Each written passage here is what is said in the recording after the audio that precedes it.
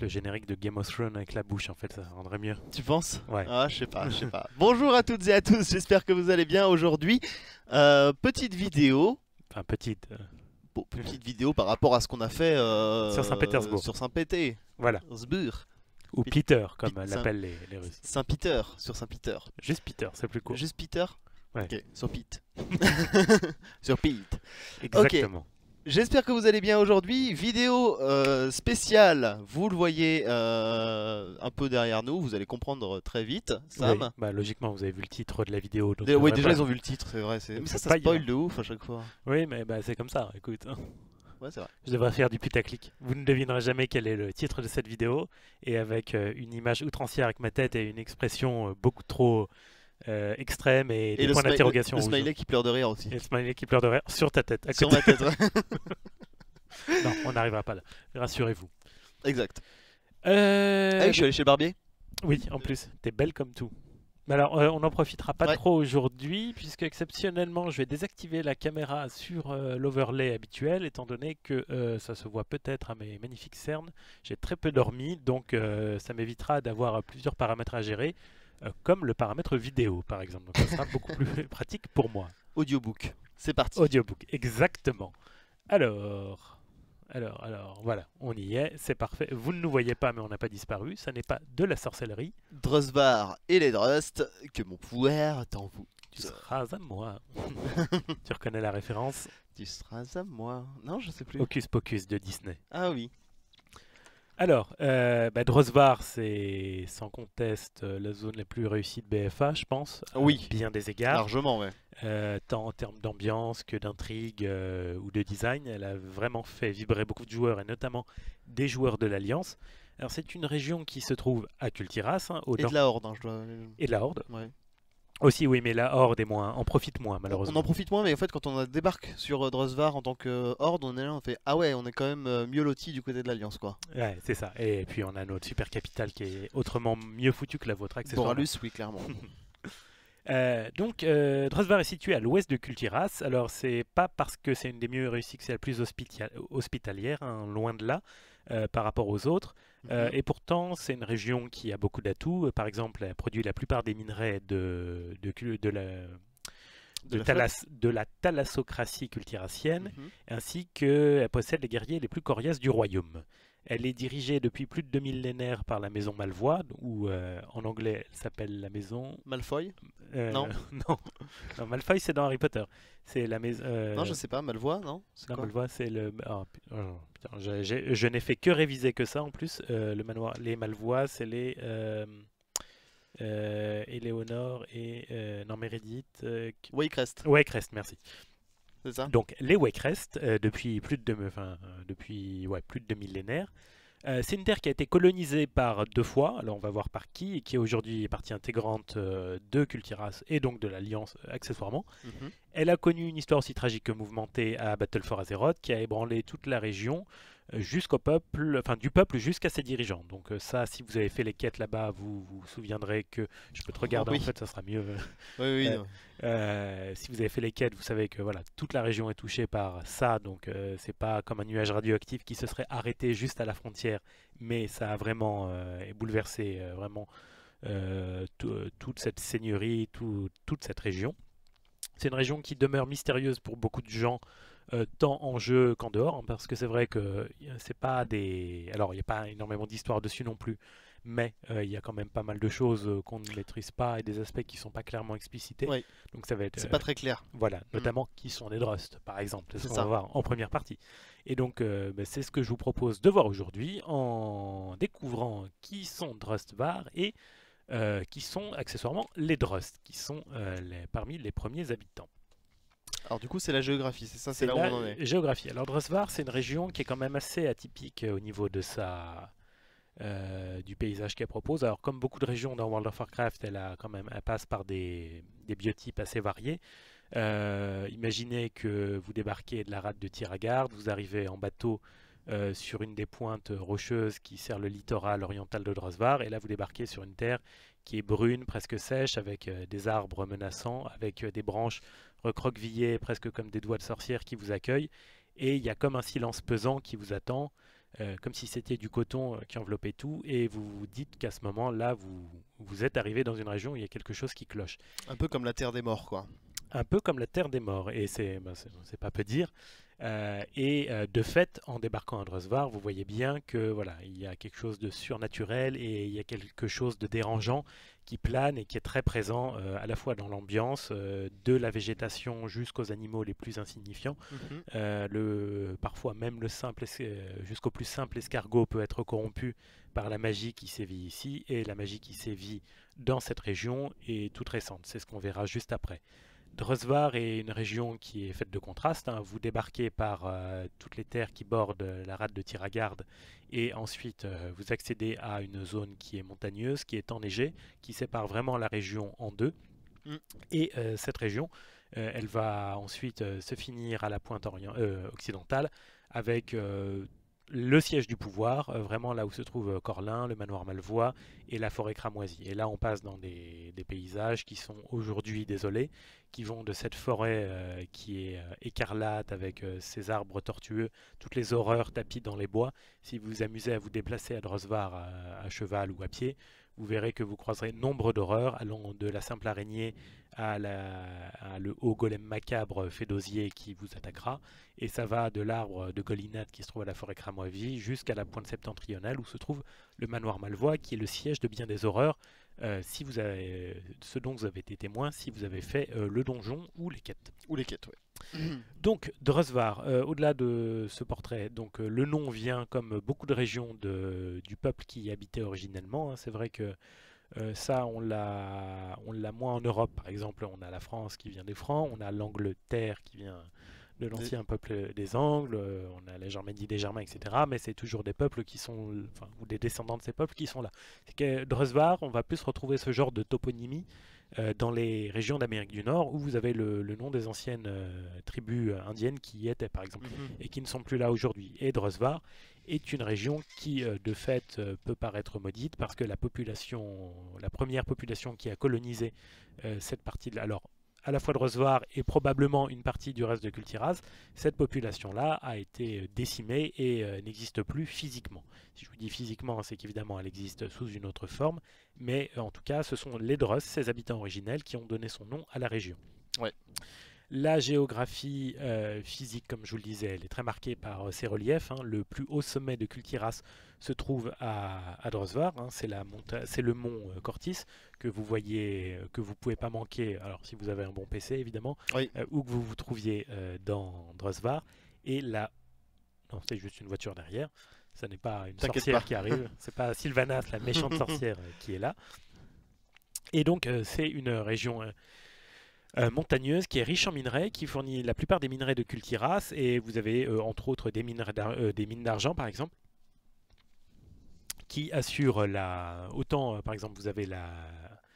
La forêt, le pas Chantorage, la vallée de Chantorage qui est le grenier à blé de Cultiras, autant Drosvar, bah, ça va être le, alors, pas le grenier à métaux, mais Oui. le- la réserve de métaux et euh, en partie de guerriers de, de la de la de l'é- l'état maritime humain.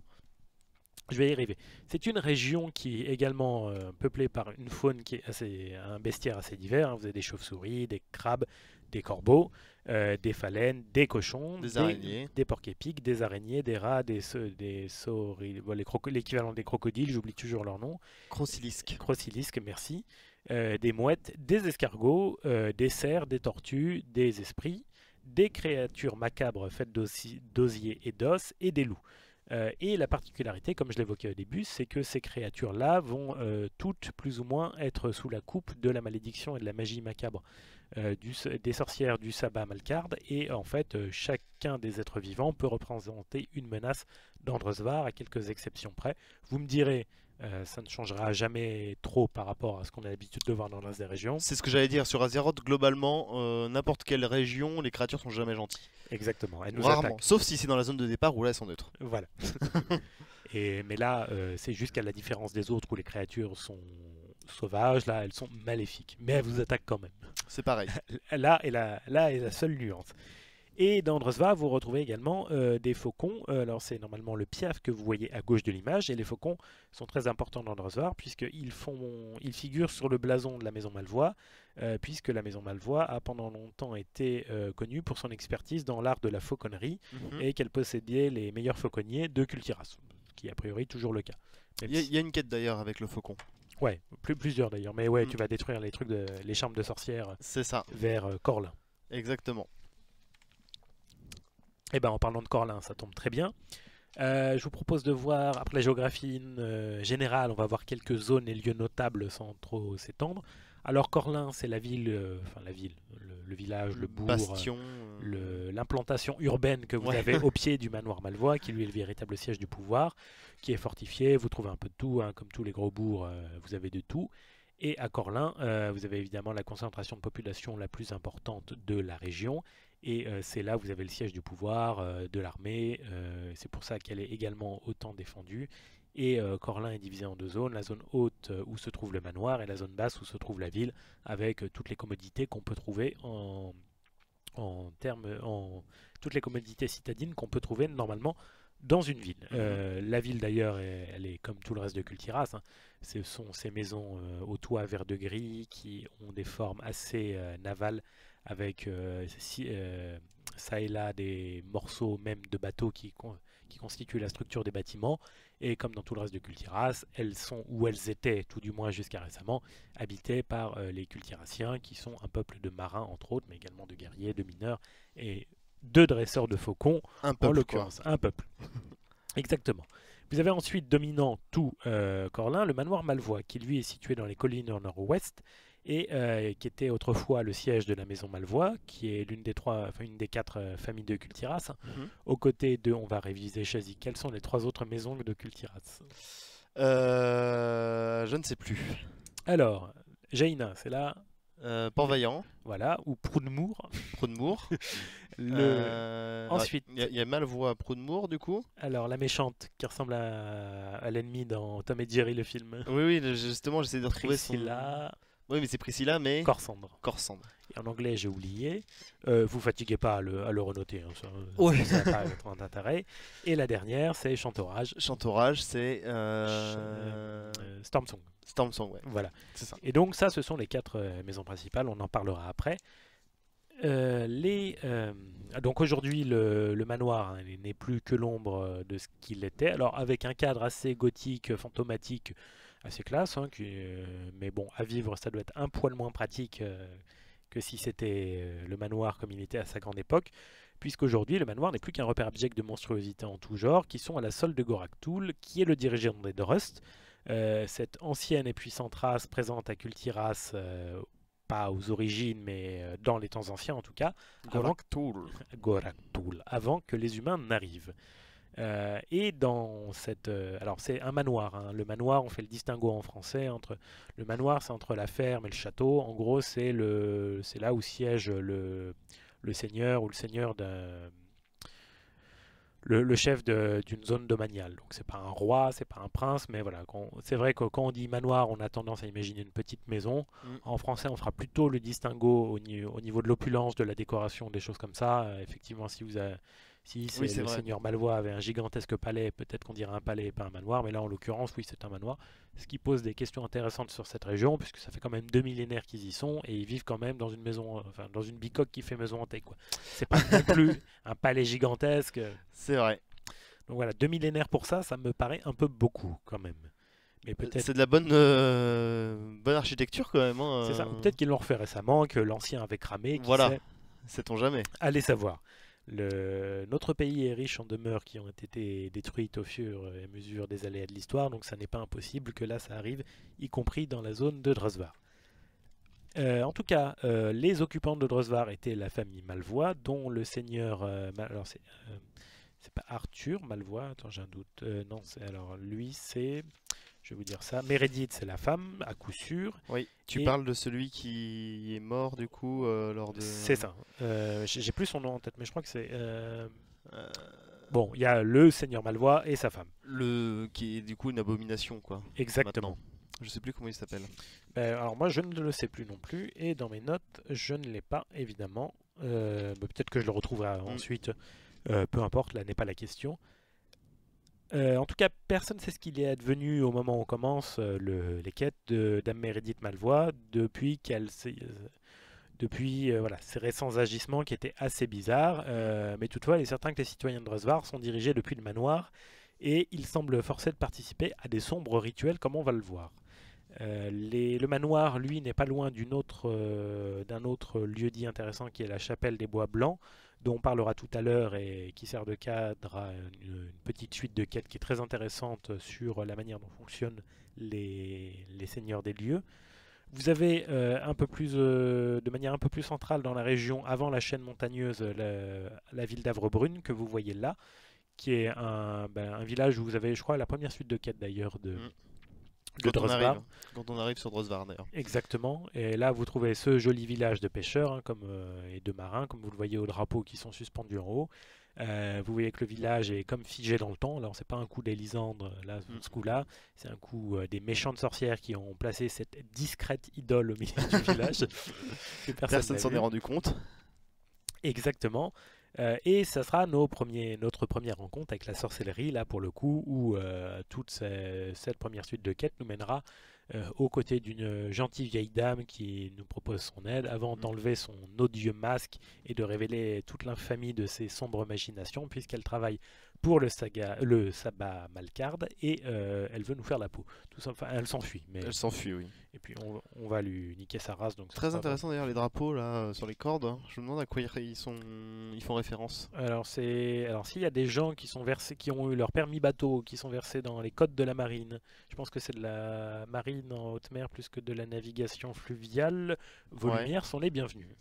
Déjà pour nous dire ce que ça veut dire, nous dire si ça ressemble à un, si c'est vraiment des vrais codes là-dessus ou s'ils ont décliné. Décliner des. Voilà, si c'est plus euh, une, euh, pour faire genre.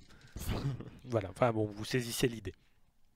Un des, un des autres euh, lieux importants qu'on verra dans Drosvar, en faisant lesquels, c'est la Ferté d'Arome, euh, qui elle est tu- située plus haut en montagne, qui est située en contrebas de Gol, euh, enfin qui est située dans la région de Gol Inat, je euh, non Gol Osgir, euh, qui est la zone où ont été défaits les Drust, dont on parlera après, mais voilà, qui, euh, elle, et qui est accessoirement la Ferté d'Arome, l'endroit où va être reformé euh, l'ordre des Braises. Mhm. Alors, c'est pas pour l'ordre des Braises, ce n'est pas le ce n'est pas le moment d'en parler maintenant, mais on parlera de ça un peu plus euh, tard euh, dans la suite de la vidéo. Et euh, avant-dernier lieu dit, la forêt cramoisier et Golinat. Et Golinat, c'est l'arbre que vous voyez dans le fond.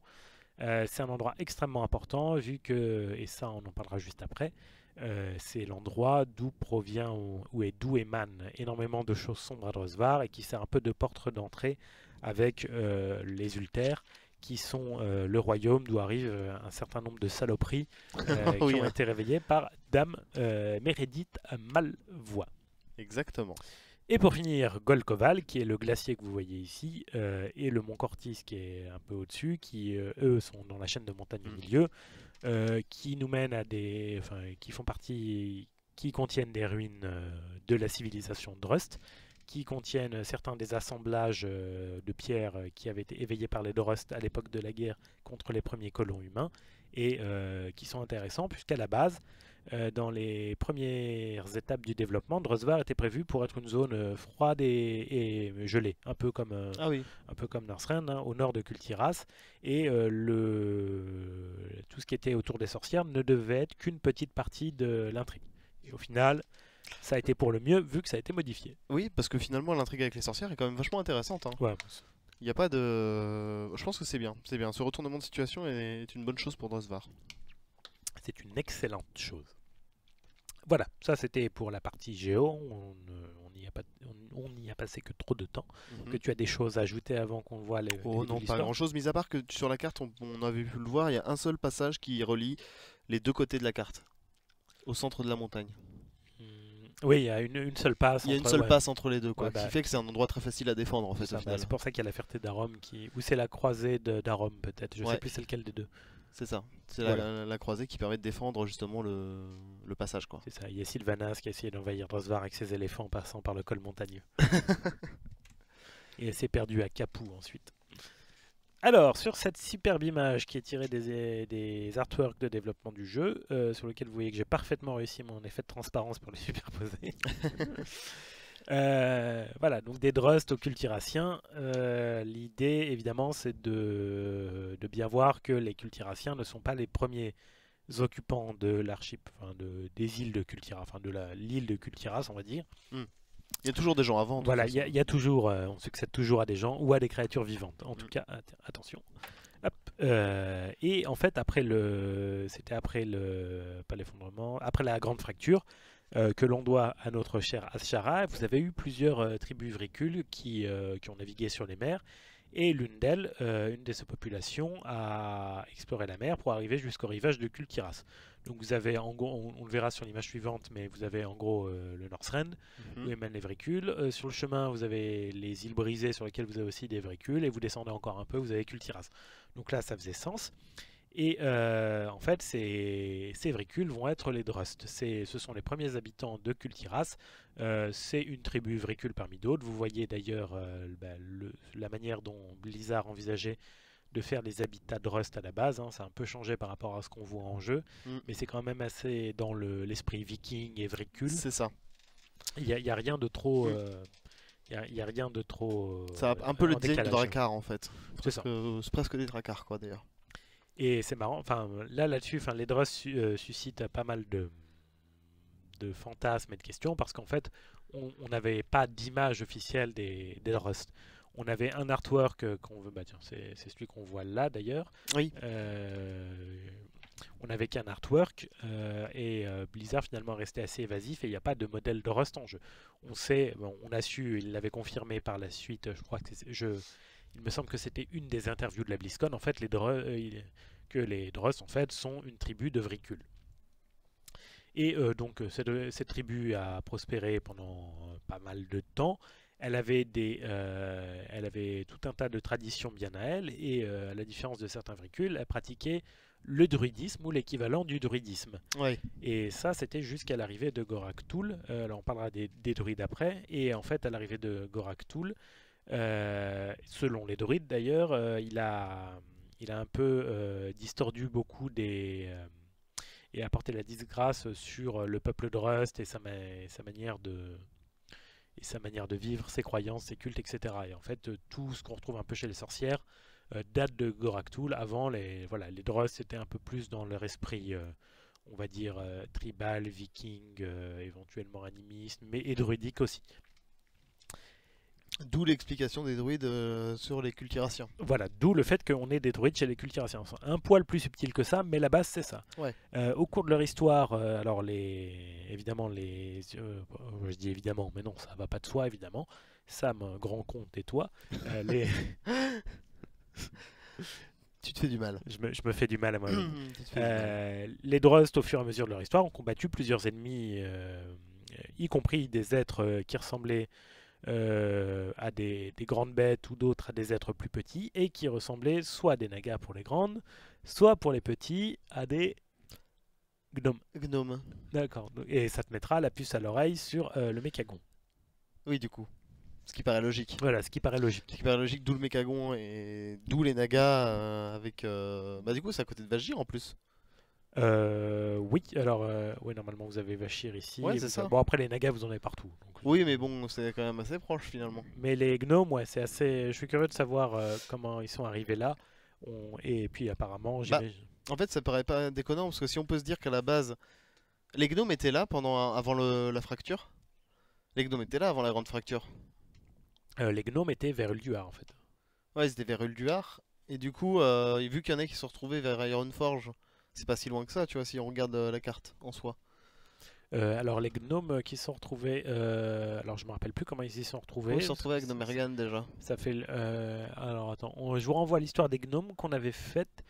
Sinon, dans Odin et lié à l'Évricule, je pense qu'on en parle. Ouais. On, on en avait parlé, mais là je l'ai plus en tête. Comment ils sont arrivés jusque là. Parce que finalement, c'est pas si déconnant, tu vois, qu'il y ait des gnomes là et du côté d'Ironforge, tu vois. Mais c'est juste qu'à l'époque, bah, le. Attends, quoique non, c'est pas forcément déconnant, mais que voilà, bon, on a une colonie gnome qui, qui s'est paumée ici et qui a évolué dans son environnement à elle, comme beaucoup d'espèces, euh, d'ailleurs, beaucoup d'espèces quand dans des environnements euh, insulaires ou éloignés, développent les caractéristiques qui sont propres à ce milieu. Sauf que là, bon, a priori, je pense pas que ce soit propre au milieu, les mecs gnomes, mais ils ont développé une civilisation. Non, mais ils ont développé leur propre civilisation en marge de la civilisation gnome euh, principale. Exactement. Euh, mais je vous renvoie à vos cours euh, d'anthropologie et d'ethnologie euh, pour, pour, le ré- pour les comparatifs utiles. Euh, où en étais-je? Donc, voilà, donc ils ont affronté plusieurs ennemis, mais finalement, le gros morceau, ça va être comme vous le voyez sur l'image. Vous avez Cultiras ici, vous avez les Drust là, et là, vous avez Gilneas. Et là, on arrive en environ, à environ l'an 2700 avant l'ouverture de la Porte des Ténèbres. Mm. L'Empire d'Arator existe encore, et les, toutes les cités-États, enfin, toutes les grosses cités plutôt, de l'Empire qui, euh, qui existent à ce moment essayent de prendre, enfin, prennent de plus en plus d'importance, d'autonomie, etc. Et Mhm. finalement bah, vont chercher euh, des moyens de croissance extérieure, d'expansion, même si l'Empire existe toujours. Et donc les Guilnéens ne vont pas faire exception, et les Guilnéens, eux, euh, vont, euh, bah, vous le voyez au regard de leur position euh, littorale, ils vont aller explorer les mers, et vous allez avoir euh, une partie de, vous, avoir des, vous allez avoir des marins et des colons guilnéens qui vont poser pied sur ce qui est Cultiras ou ce qui va être plus tard Cultiras, euh, plus logiquement, et, et qui vont euh, commencer à s'y établir. Donc tout aurait pu rester là, chacun Ouais. dans son coin machin. Euh, mais c'est pas de la vie des Drust qui, je vous le rappelle, sont des vricules. Et donc les vricules, c'est comme des vikings. hein, et- C'est des peuples guerriers. hein. voilà, et dans l'imaginaire, alors je sais pas comment étaient les vrais vikings, mais en tout cas dans l'imaginaire populaire et surtout dans, les- dans la tradition des vricules de haut, c'est plutôt euh, ils tabassent et après, et après éventuellement ils réfléchissent. C'est ça. S'ils se sont pas fait casser la gueule. Parce Voilà, que- s'ils sont pas fait casser la gueule. C'est ça, sinon ils laissent pas. Et à certains égards, d'ailleurs, ça nous rappelle nos amis les orques, ces gens prêts à la nuancer. Bah oui, non, mais finalement, c'est à peu près. euh, en- finalement, l'être humain, enfin les humains de Warcraft sont descendants des véhicules. C'est ça. Mais entre, euh, entre un vricule euh, con et un orque intelligent, je préférais toujours discuter avec le vricule. Ah ouais? Oui, Putain. Les orques intelligents, on parle de Thrall. Hein. Je plaisante. Euh, les- on embrasse nos amis les orques. Bien sûr. Euh, donc les Drust, en tout cas, après l'arrivée des humains, vont euh, lancer des raids agressifs euh, depuis Drosvar contre les humains.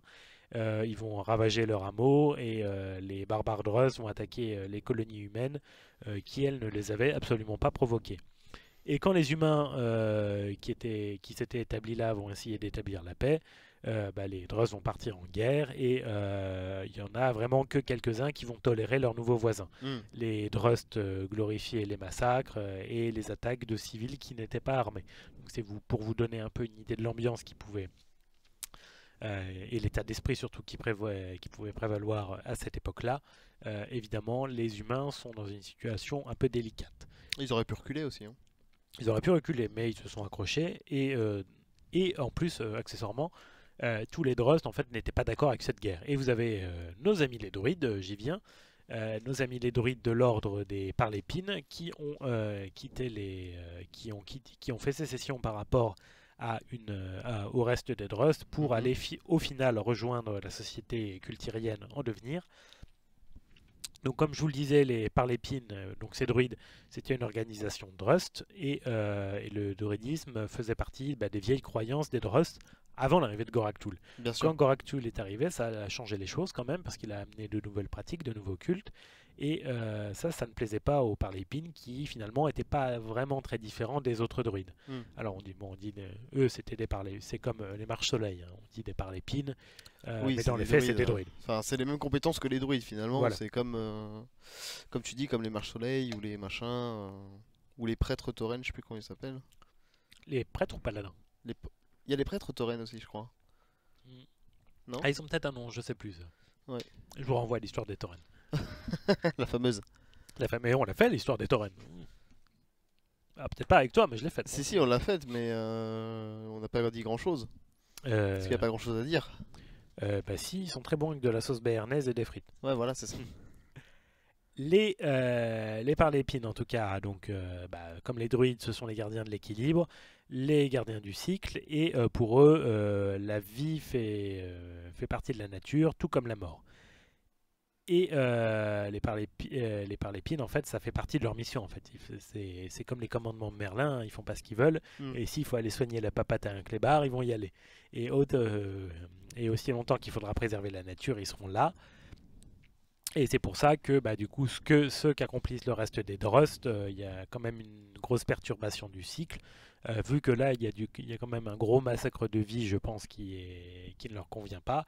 Et c'est pour ça que voilà, ce genre de, ce genre de choses les dégoûte. D'autant que, en fait, les Drust ont recours à une magie qui est un peu dit, qui ressemble à celle du sabbat Malcard. Et euh, c'est un genre de magie pervertie, une magie de la mort. Et ça aussi, ça va pas très bien avec le cycle.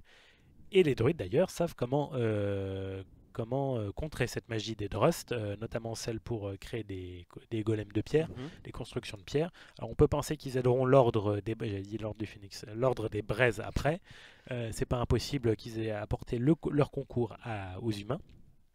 Mais en tout cas, les, ces druides-là vont faire euh, sécession et euh, certains des humains, certains des descendants des humains de Cultiras de cette époque ont entendu l'appel euh, de la nature et du monde sauvage Mhm. et ont eux aussi cherché à, à prendre les voilà les, à, à suivre à, à suivre les, les enseignements des anciens et euh, les ceux qui ont voulu faire ça en fait euh, ont eu la chance de pouvoir se faire enseigner les voies du druidisme par c'est par les Pindrust là et même si euh, finalement les les, euh, les parlépines étaient mal vus parce que c'était des drusts parce que Oui, c'est ça, en fait, il devait pas se faire bien accueillir quand même par les. et puis c'est un type de magie qui n'était pas foncièrement très répandu. Alors on a vu qu'il y avait des druides, à- enfin, l'équivalent des druides à Gilneas à l'époque, Mm. qui étaient des sorciers, enfin des, des sorciers des moissons en gros, et que les elfes ont aidé. Je crois que c'est les elfes qui les ont aidés à devenir Oui. des druides quand ils sont passés Worgen.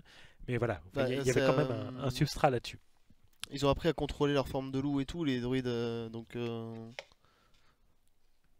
Je, je crois que c'est ça, il y avait des druides à l'époque, à, à l'époque de, à cette époque-là justement. Bah, il y a des druides, quand on fait les quêtes de début des Worgen, il y, a- Ouais. il y a des Worgen qui s'appellent sorciers ou sorcières des moissons, Mm. et qui euh, c'est pour les récoltes, etc. C'est ça.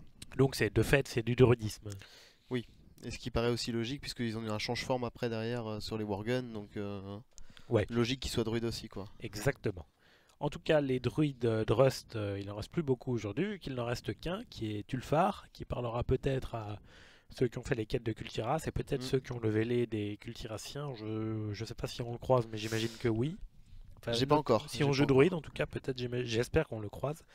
Et euh, voilà, mais c'est le dernier. Et euh, voilà, de cette, euh, des druides, finalement, de la civilisation Drust, il va rester ces deux éléments. À la fois l'ancien élément traditionnel druidique qui va se retrouver avec les, les enseignements aux humains de Cultiras, et ensuite euh, tout ce qui est la magie maléfique de Goraktul, euh, qu'on va voir tout de suite, puisque euh, évidemment les humains ne se sont pas laissés faire. Au bout d'un moment, ils en ont eu marre hein, de subir des assauts des Drust pendant plusieurs années. Et les humains qui faisaient En partie même de qu'est-ce qu'ils foutaient là Ouais, que- Hein les... Alors ça c'est une question philosophique très Ouais. intéressante, mais on en, on en parlera après. Est-ce que la Terre appartient à tout le monde ou... Ouais, non, mais tu crois que la Terre t'appartient tout entière et pour toi c'est qu'un tapis de poussière. Mais moi je sais que la, la pierre, l'oiseau et les fleurs ont une vie, ont un pays et un cœur. Un esprit et un cœur, C'est beau, c'est beau. Ouais. c'est beau cette référence. n'est-ce pas? Ah, c'est Serge Lama, je suis malade. Oui. Euh, donc, euh, et au bout d'un moment, les humains qui composeront la maison euh, Malvois ont décidé que voilà, il fallait, peut-être siffler la, fin de la récré et comment, comme Illidan avec la Légion Ardente, commencer euh, ne plus être passif et porter la guerre contre les Drust euh, cette fois.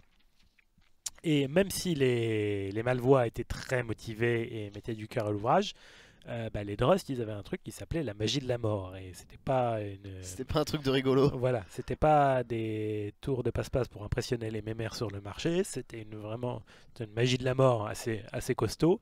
Et les humains ont commencé à perdre la guerre, très bizarrement. hein, Bah, il ça devait- ça- ça- ça t'étonnera. Sans déconner. Et euh, donc la maison. Sachant qu'ils maîtrisaient pas la magie du coup à cette époque-là. Euh, alors ceux-là, non, je pense pas. Je pense pas, hein, ils avaient pas eu le lien avec. euh, Euh, avec, et puis quand bien même ça aurait été des Guilnéens, donc Oui, c'est pas ça. ceux d'Arator. C'est ça. Du coup, ils ont pas forcément de, de magie quoi. En tout cas, la maison Malvois, a- du coup, face à ça, bah, s'est dit on va peut-être pas rester passif non plus, hein, donc on va faire des recherches sur la magie qu'emploient les Drust. Et suite à ces recherches, est créé et fondé l'Ordre des Braises afin de, de combattre ça et de contrer la magie des Drust. Mm. Euh, et probablement avec l'aide des druides dont on parlait tout à l'heure. Et donc l'Ordre des, des Braises va utiliser des armes d'argent et le feu alchimique pour les combattre.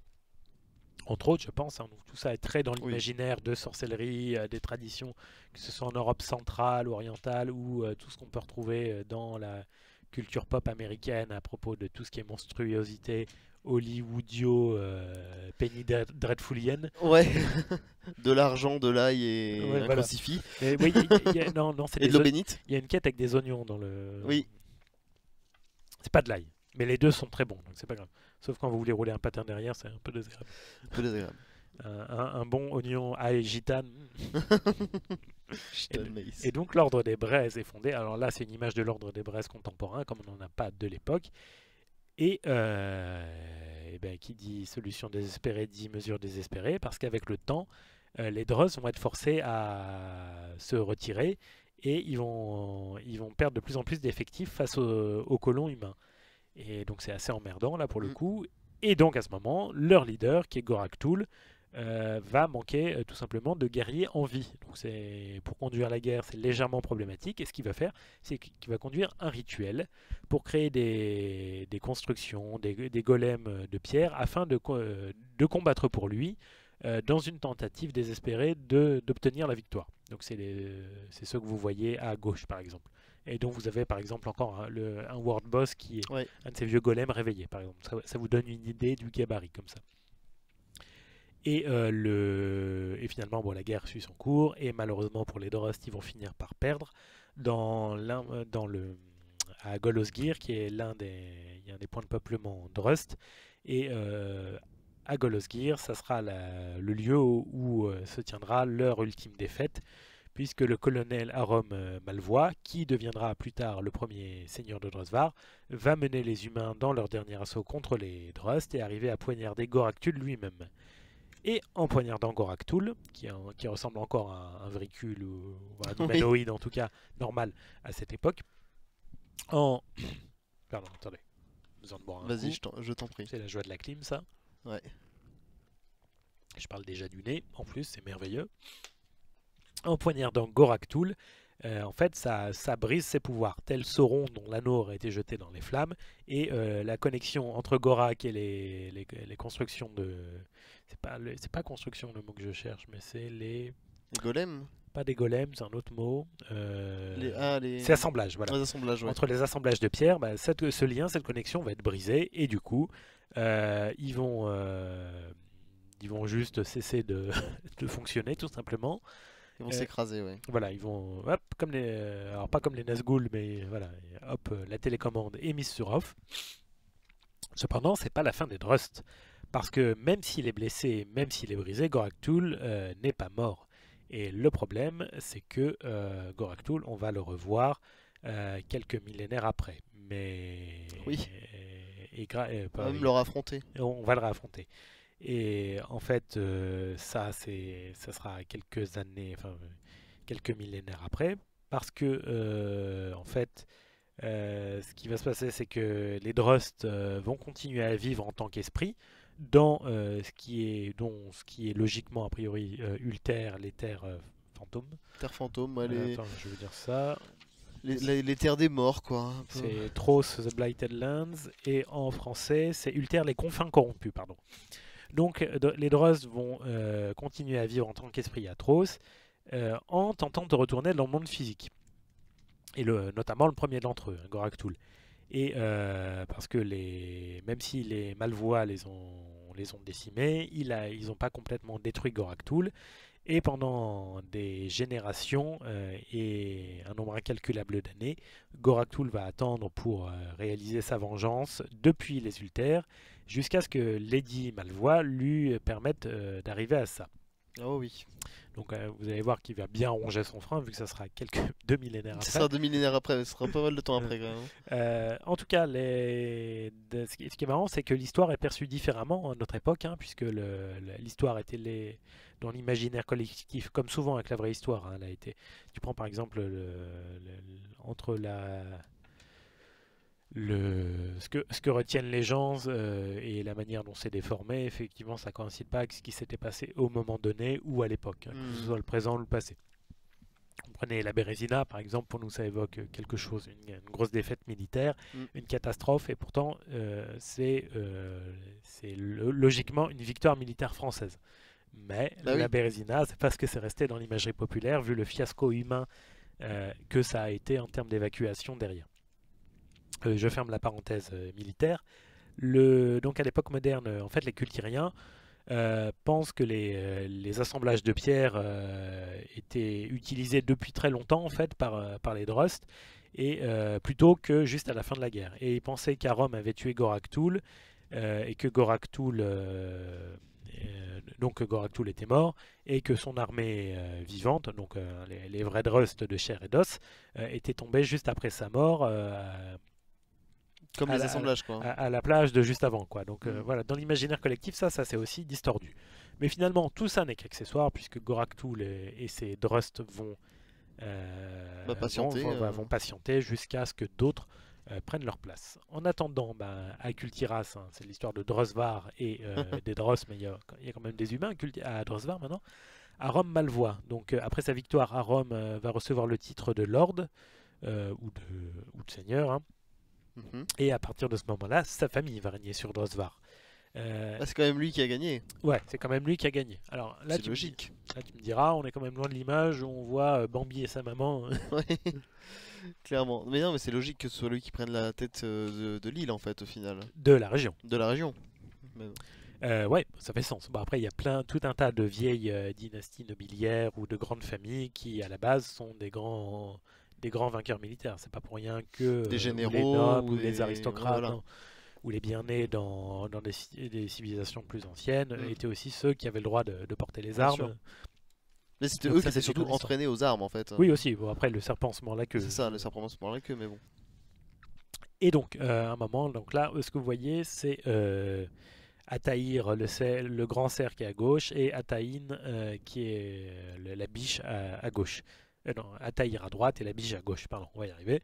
Euh, alors, c'est un moment où dans la guerre, avant ou après, alors, je ne sais pas si c'est avant ou après la guerre, ça, j'ai pas réussi à, à le trouver, Mhm. mais le seigneur à Rome, euh, Malvois, part euh, à la chasse tout seul. Et euh, au moment où il part à la chasse, il trouve un cerf qui est blessé et qui a tué, qui a tué pardon, plusieurs Drust en tentant de se défendre lui-même. Mhm. Et euh, à ce moment, le peuple euh, bah, d'Arom Malvois, euh, je sais pas, crève de faim, c'est peut-être un bien grand mot, mais en tout cas, le peuple. Bah, ils sont pas au voilà, sont pas le, bien, quoi. le peuple a besoin de nourriture. Et à Rome, finalement, au lieu de choisir de le tuer pour euh, ramener la barbaque, eh ben, il va choisir de soigner le cerf, en pensant que finalement, quelqu'un ou quelque chose qui peut tuer des Drust, euh, voilà, vaut mieux que ça continue à se balader sur les routes plutôt qu'à finir dans le bide de, de sa bidasse. Donc il va soigner le cerf et le cerf va retourner dans les bois. Arom, lui, euh, finira par mettre le camp pour la nuit. Et cette, cette nuit-là, exactement, il va, euh, lui, à son tour aussi, être attaqué par des, par des Drust. Mhm. Et malgré ses meilleurs efforts, hein, euh, Arom sait qu'il ne pourra pas gagner contre les 10 Drust qui font face à lui. Et euh, il va décider que au final, euh, il ferait tout pour en emporter le, le plus possible avant de crever lui-même.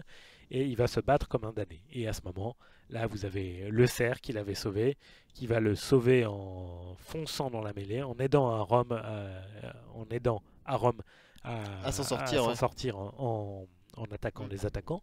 Et euh, il va lui sauver la vie. Ce faisant, il va lui sauver la vie.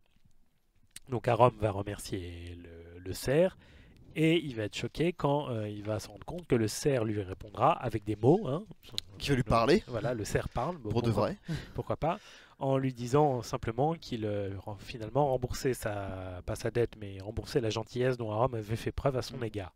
Et il va se présenter à lui, il lui dit qu'il s'appelle Ataïr, et il va faire vœu à ce moment de protéger Drosvar et son peuple euh, s'il venait à lui, aussi long qu'il existerait. Donc il est très probable que le Ataïr en question soit logiquement un dieu sauvage, Mm. étant donné qu'il est toujours vivant actuellement. Donc euh, Oui. c'est probablement un des anciens du coin. Un des, un des Loa, quoi. Un Loa, voilà, un Loa. Même s'il s'est fait mettre la misère par de Drost. Ah, tu sais, nos, nos- nos lois, ils se sont fait bou- bouffer. Les lo- lois de Zandar se sont fait bouffer par pas mal de choses. Hein. Par, par moins que ça. Par moins que ça. Hein, le Loa des mouches, on en parle. le loi des mouches. Ou, ou- ou le Loa des escargots. Ah, hein, le loi des écureuils. le Loa des écureuils. le Loa des hors-deux. Le... Dire Sylvanas. En tout cas, euh, euh, donc, euh, Donc il gagne cette bataille. Voilà, il gagne cette bataille et il sait qu'il pourra toujours compter sur le cerf euh, qui va disparaître dans les bois. Et de toute façon, toute âme vaillante et sincère qui se baladera dans les bois pourra trouver abri auprès du cerf et de sa compagne. Et d'ailleurs, je crois que c'est, je, je crois que c'est pour les druides ou les chasseurs. En fait, ils servent d'aubergistes. Je sais plus lequel des deux, mais Ouais, ils font office d'aubergistes en se baladant à Drosvar. ça je saurais pas te dire, je joue ni l'un ni l'autre. En tout cas, Arom, lui, euh, bah, il finira par mourir, hein, très logiquement, de vieillesse, très probablement, mais ses descendants euh, vivront, euh, vivront et tiendront le pouvoir pour les deux millénaires qui suivront. On pourra trouver l'héritage d'Arom à la fois dans la statue que vous voyez ici, qui se trouve à la Ferté d'Arom, qui est au pied des montagnes, enfin qui est à côté des montagnes de Golosgir, et également dans la passe montagneuse au nord, qui s'appelle la Croisée d'Arom, qui également porte son nom elle aussi. Référence, ouais. Voilà, et là, vous le voyez tenir un faucon parce que la fauconnerie est importante chez les gens de d'Orosvar Mhm. et que ça figure également sur la bannière des euh, Malvois. Ah. Ah, voilà. Donc ça, c'était euh, l'histoire ancienne de Kultiras. Maintenant, on va voir l'histoire plus contemporaine, celle qui a lieu à BFA et qui, du coup, est synonyme de retour des Drost. Et du, du, re- du retour surtout de Goraktul. Exactement, l'infâme Goraktul. Femme Goraktul. Il irait bien avec Sylvanas. Oh non. Non, Goraktul est quand même plus. Classe, C'est c'est méchant pour être méchant, tu vois. J'ai rien à ajouter. Alors, donc euh, un peu de contexte avant le début de BFA. j'ai rien à un peu de contexte avant le au début de BFA. Donc vous savez que l'Alliance et la Horde se cherchent de nouveaux alliés, comme euh, il y a la guerre des la guerre du sang qui oui c'est la guerre du sang qui les euh, oui c'est ça euh, oui c'est ça c'est la guerre du sang qui les oppose à cause de l'azérite. hein. Ouais. Et la Horde va se diriger elle vers euh, les Andalar et leur flotte euh, qui finalement n'est plus si puissante que ça aujourd'hui. Et euh, au jour d'aujourd'hui, non. Ouais, au jour d'aujourd'hui. Oui. Et euh, Kultiras, du côté de l'Alliance, puisque euh, Jaina Port-Vaillant, qui est un mob réminent de l'Alliance, était la fille du, de l'amiral suprême de Kultiras. Euh, Kultiras qui avait fait autrefois partie de l'Alliance de Lordaeron pour combattre contre les orques. Et donc, euh, euh, Jaina va se retrouver envoyée par Anduin. Alors, soit il voulait s'en débarrasser et Avec son bateau faire tuer. magique. Et donc, avec son Jaina, bateau magique. son Toudou, Jaina et son bateau magique qui fait le café va se retrouver en, en, émi- en émissaire en tout cas à Kultiras pour essayer de faire revenir Kultiras dans les bras de l'Alliance. Mm. Évidemment, elle va être très bien accueillie à son retour vu que pour euh, son peuple c'est une traîtresse. Elle a tué son père et euh, la flotte, est- enfin ce qui restait de la flotte est revenu la queue entre les jambes après la défaite euh, au moment de la fondation de Durotar, donc elle n'est pas spécialement bien accueillie. Ah non. Et Jaina va être finalement mise aux arrêts, euh, comme nous d'ailleurs. Nous, on sera emprisonnés à Toldagor, mais Jaina serait emprisonnée dans euh, une île. Alors, je crois que c'est cette île. euh, L'île pris- prison, c'est celle Ouais. en bas à droite. C'est celle-là. Enfin, celle-là, ouais. ouais. Ouais, donc euh, j'ai oublié le nom de cette île prison. Et finalement, comme euh, euh, Catherine Port-Vaillant, qui voit sa fin, est extrêmement froide, distante et cassante avec sa fille, et sur les conseils de sa meilleure amie, qui est Dame Corsandre, hein, la très sympathique et très honnête Dame Corsandre, Mm. euh, elle va euh, finalement, elle va la, de fait la condamner à mort en l'envoyant sur, je crois que c'est le- le- l'île de la fin du monde, du, du bout du monde ou un truc comme ça. Elle va l'envoyer sur cette île dont personne ne revient. Et personne ne revient euh, de cette île pour cause, puisque visiblement il y a une, un lien- il y a une connexion directe avec les Ultères. C'est pour ça que euh, personne n'en est revenu, en tout cas. Euh, nous, en tout cas, on arrive à s'échapper de euh, Toldagor Ouais. et à se retrouver en odeur de sainteté une fois revenu à Boralus. Ouais. Et on aura le choix ensuite de faire nos quêtes entre la rade de Tiragarde, la vallée Chantorage ou Drosvar. Et vous doutez bien que là, on va parler de Drosvar, de- qui est l'une des trois intrigues principales. Et euh, alors Drosvar, à ce moment, euh, alors on va faire un peu, on va, on va faire un retour arrière très léger. euh, juste les quelques années avant euh, l'arrivée de la- le- du retour de l'Alliance à Kultiras, euh, pour parler mariage, puisque... euh, Le fameux mariage voilà, qui a tout déclenché. C'est ça. Euh, vous avez euh, le seigneur... euh, comment il s'appelle ce con Euh, Le seigneur Second. euh, et je crois que c'est Arthur, mais... Attendez, on va- euh, non, bon, on vérifiera pas, peu, peu importe. Euh, donc le seigneur Malvois euh, et sa femme Meredith ont une fille qui s'appelle Lucille. Chazy vérifie, parfait. C'est ça. Et la... da- bon alors évidemment c'est le celui qui, qui tient les rênes du pouvoir, c'est le seigneur Malvois. On peut penser alors c'est euh, parce que c'est pas parce que c'est un homme, mais parce que c'est l'héritier tout simplement. hein. Quand Lucille prendra sa suite, euh, ça fera pas de discussion. Donc on, peut penser que la fin. Et puis c'est jamais un truc qu'on a trop retrouvé d'en haut, le fait qu'il n'y ait forcément que des hommes qui doivent être dirigeants. Là, euh, c'est juste que c'est le hasard des histoires d'en haut qui fait que ce soit un homme ou une femme, mais on n'a pas des choses comme la loi salique ou des choses. À ma connaissance, il n'y a rien qui interdit aux femmes d'être dirigeants dans une des, Non. dans un- une des cultures ou des civilisations de haut. Et donc sa femme nourrit beaucoup d'ambition pour lui et elle le voit très bien à la tête de tout Kultiras. Et le malheur pour euh, la bonne Meredith, c'est que sa fille s'est enamourachée d'un certain Alexander Tridward, qui, dont elle est oh, éperdument amoureuse, peut-être pas, mais dont elle est amoureuse, qu'elle aime, et euh, elle l'aime au point qu'elle va vouloir l'épouser. Euh, alors, est-ce que tu Je, je cherche un Si- sinon tu- manoir. Sinon, tu tapes Meredith euh, Mal- euh, Wakerest et tu, Ouais, verras- tu trouveras ouais. son nom.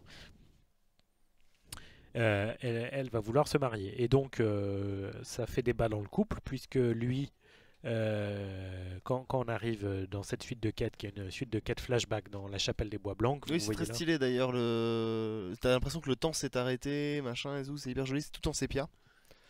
D'ailleurs. Alors, c'est Arthur, c'est ça. Arthur, c'est ça. Exactement. Ça veut dire sanglier de Cornouailles. Arthur, Arthur et Lucille, euh, sa fille. Euh, donc euh, là, quand on arrive dans, ils sont au premier étage et on les surprend en pleine conversation. Et Meredith dit en substance, non mais c'est honteux, c'est un marchand, il ne va pas l'épouser, euh, il est indigne de notre rang, enfin la rengaine Alexander. habituelle, euh, Alexander. Euh, c'est- indigne de notre rang, euh, elle ne doit pas épouser ce machin. Et Arthur est là en mode, mais non, euh, mais, mais Minou, euh, pas du tout, nous aussi on s'est mariés par amour. Mais elle lui dit, Mais Minou et elle lui dit, mais mon gros loup, mais voyons, nous au moins, c'était pas une mésalliance en gros. Mais ce qu'elle supporte pas, elle qui, est- qui a énormément d'ambition pour euh, bah, sa famille et le pouvoir de son mari, et donc son importance à elle aussi, euh, c'est, euh, elle veut le pouvoir. Et c'est pas en épousant un marchand que Lucille Malvois pourra asseoir la suprématie de la maison Malvois sur Cultiras. Et c'est ça qui l'emmerde. Ouais. Donc Meredith, Meredith, désapprouve le mariage de Lucille. Et euh, au jour de leur mariage, en fait, euh, alors bon, je vous passe les quêtes, euh, on va les aider à trouver le discours du père qu'il l'a perdu et blablabla. Oui. On arrive à la cérémonie, Lucille, le- Arthur arrive. Il y a déjà Lucille et Alexander qui sont sous l'arche, prêts à échanger leur- leurs vœux et leur Mhm. consentement. Et Arthur dit bah, Ta mère va, arrive juste après. On peut commencer sans elle, m'a-t-elle dit. Donc la cérémonie commence. Et à un moment, euh, surgit des ombres euh, un certain Roland le couteau, ou Roland qui est un assassin et qui tue Alexander Tredward. Et euh, il y a d'autres assassins. il y a d'autres assassins qui surgissent, et là, donc, on- on, le mariage euh, ressemble à un film d'action américain des années 80. euh, C'est Kill Bill. c'est qui- ouais, j'ai pas, j'ai jamais vu Kill Bill. Bah, c'est un peu ça. Est-ce que c'est comme si veulent le Nouveau Monde ou pas? Non. Est-ce que c'est comme tu veux le nouveau monde? Pas du tout. Pas du tout. D'accord, bon, bah, c'est pas grave. Bon, J'imagine qu'il y a des souris géantes habillées en cow-boy euh, quand même. Ouais, mais pas pareil. Elles font du karaté. des souris qui font. Ah, comme Saruman dans Le Hobbit. Non, comme Saruman dans Star Wars euh, 9. 9 Non, euh, 8, pardon, 8. Non, non, 3. Dans le 3, dans le 3 il y a Saruman? Bah, Mais- Christopher Lloyd, euh, il joue le comte Doku, et on le voit dans le 2 et le 3, le comte Doku. Euh, Ah oui, oui, oui. C'est vrai. Ah là là. C'est vrai que j'avais oublié quand il fait son Legiosa là. Oui. Bon, fer- fermons la parenthèse. Euh, Le mélange des références de Ouais, pop culture. euh. Euh, donc euh, là, c'est bon. Finalement, on réussit à, à calmer tout ça, enfin à calmer. hein. Anesthésie générale pour tout le monde, un grand coup de masse, et, Ouais. et, euh, le, le- enfin, ce qui reste des invités est sauvé. Et finalement, euh, le Arthur nous demande d'aller, euh, je crois, d'aller voir euh, si sa femme est saine et sauve. Mm. Et en fait, on la surprend dans la cave avec le fameux Roland. Et elle lui dit euh, bah, bien joué pour, pour l'avoir buté. Et on comprend que oui, c'est elle qui a donné Qui a l'ordre commandité le meurtre, qui a commandité le meurtre et elle nous surprend et là elle donne à l'autre con l'ordre de nous tuer. Évidemment, je vous laisse deviner qui a gagné C'est nous. et il nous dit qu'il faudra d'ailleurs se méfier de Dame Meredith qui est plus puissante qu'elle en a l'air. Mm. En tout cas, euh, Lucille, même si elle savait que sa mère pouvait être cruelle parfois, euh, euh, Ouais. mais euh, elle, a- comme tout le monde, elle avait aucune idée que sa, propre mère puisse être derrière le meurtre de celui qui allait être son mari. Quoi. Donc ça, ça vous donne quand même une idée de l'ambition et de, du manque de, du manque de, enfin de, manque, du manque, je vais y arriver, d'inhibition euh, de la dame, puisqu'elle est prête même à faire assassiner le fiancé de sa fille pour euh, des raisons euh, d'influence et de politique. Ça tombe bien, puisque euh, vous voyez le couple avant-après. hein. Ouais, ça c'est marrant la- ça. la magie de la terre. Vous voyez que le mariage, ça fait grossir et ça donne une mauvaise gueule après. Ah, c'est surtout qu'elle a transformé son mari. Son mari était déjà quelqu'un de passif de base en fait. hein. Bah, son mari, il a un peu tel côté, tu sais, bonhomme, rondouillard, un peu comme. euh, c'est... On sait pas s'il est trop faiblard, mais il a, il a le côté, bon, c'est pas grave, écoute. hein. Ouais, c'est ça. Bon, là, il est un peu moins, si tu veux. Euh, et euh, donc, voilà, là, c'est le, c'est un peu leur pacte avec le diable, en fait. À un moment, euh, là, on est toujours avant BFA, quelques années avant. en fait, Meredith est éplorée de chagrin parce que son mari, son mari Arthur est, tombe malade et est mourant. Et là, elle va en appeler à n'importe quelle puissance qui puisse sauver son mari. Et je vous laisse deviner qui répond à l'appel Et c'est Goraktul qui va répondre. hein. C'est toujours, vous, toujours se méfier des voix qui vous parlent et qui vous répondent. Et Goraktul va répondre et euh, il, va lui, il va lui promettre, et là-dessus il va pas lui mentir, que la mort ne séparera jamais leur couple, mais que tout ça aura un prix, évidemment. hein. Bien Et, sûr. Le déplacement n'est pas gratuit, et surtout que c'est un dimanche en soirée. Et donc Goraktul, euh, en fait, va apprendre euh, l'ancienne magie de la mort d'Orust à Meredith Malvois, et euh, qui, en échange et à son tour, va former le sabbat de la Malcarde. Ou le- les sorcières qu'on a vues au début. Enfin, le... c'est ça. C'est le, le, le collectif des sorcières qui en fait officie à Drosvar. Ou le Earthbane Coven, comme il s'appelle en anglais. Et en fait, Meredith va s'enfermer euh, dans le manoir avec son mari, hein, à qui elle, vous- elle- elle va, qu'elle va légèrement relooker, comme vous imaginez, ou pour le faire va, survivre quoi. voilà. qu'elle va aider à faire relooker en tout cas. Mm. Et finalement, on n'entend pas parler du, on n'entend pas parler de, de- du couple seigneurial pendant longtemps. Et puis au bout d'un moment, euh, c'est Dame Meredith qui va apparaître afin de calmer les, les villageois qui commencent à s'inquiéter et prendre le contrôle de l'armée. Inutile de vous dire qu'elle est sortie seule, hein, parce que vu ce à quoi elle va, est en train de ressembler son mari, euh, qui, au-delà de l'aspect physique, euh, ne- doit aussi pouvoir tenir des conversations philosophiques très longues. Oui, oui, je pense que voilà. Je crois qu'il parle même pas en plus, de base. Il parle pas. Ouais, c'est ça, ouais. Enfin, il dit quelques mots, quoi, en mode brute abomination. Ouais. Euh, et euh, donc là, euh, le, le plan de Gorakul commence à marcher et la Meredith va commencer à recruter des jeunes filles pour rejoindre son culte. Et donc là, bah, c'est ce que je vais vous, vous lire ici. Ça vous évitera de le faire à l'écran. Donc c'est dans le c'est dans l'ouvrage La chute de Corlin qu'on ramasse dans une des Mhm. quêtes. Et je, vous en- je vais vous en donner lecture dès que j'aurai bu. C'est vraiment chiant cette clim. Oui. C'est pas dans le texte. hein. Enfin, Il le n'y a, pas ça dans le jeu, c'est vraiment chiant cette clim. Non, c'est vrai. Alors, cela fait une quinzaine de jours que personne à Corlin n'a une nouvelle des Malvois. Les gardes du domaine et conduisent les visiteurs sans décrocher le moindre mot.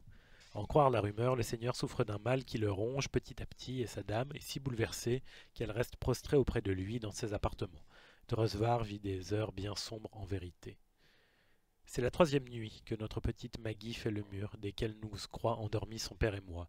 J'ai essayé de la suivre, mais j'ai perdu sa trace devant la cour du manoir Malvois. Les Davy affirment aussi que leur, leur fille aussi disparaît régulièrement à la faveur de la nuit, afin de revenir mystérieusement comme, si de rien n'était. Son père prétend l'avoir vu rentrer dans le manoir, mais ça ne tient pas debout. Personne n'est entré ou sorti de cette demeure depuis des semaines. Ça, c'était les deux premières pages. Quelque temps après. Enfin, l'espoir renaît pour Drosvar. Aujourd'hui, Dame Malvoie est sortie du manoir pour assurer les habitants quant à l'absence prolongée de son seigneur. Elle nous a affirmé qu'elle était en bonne santé, mais qu'il était en bonne santé, mais la façon dont elle régentait les gardes m'a interpellé. Jamais encore je ne l'avais vu imposer ainsi son autorité. Allons, je me fais sûrement des idées. Après les épreuves des semaines passées, la moindre éclaircie est bonne à prendre. Quelques jours, enfin quelques temps après, euh, Sylvie Sylvie Douane. Sylvie Douane insiste pour que je rejoigne son cercle de sœurs. Alors déjà, vous voyez que le blaze commence par Syl, c'est douteux. Sylve. Toute cette histoire ne me dit rien qui vaille. Chaque jour, les jeunes villageoises sont plus nombreuses à porter le charme macabre. À ce train-là, tout le village en fera bientôt partie. Les hommes, eux, n'y voient que du feu. Ils sont encore plus aveugles que d'habitude à ce qui les entoure. On croirait presque qu'on leur a jeté un sort. Mystérieux. Cinquième page. Nouvelle disparition. C'est la troisième cette semaine. Les gardes ont beau dire qu'il n'y a pas de quoi s'inquiéter, je n'y crois pas une seconde. J'ai parlé à Monsieur Knowlton, pas plus tard qu'hier soir. Il a vu de ses yeux le corps de John le palefrenier, la toute première victime.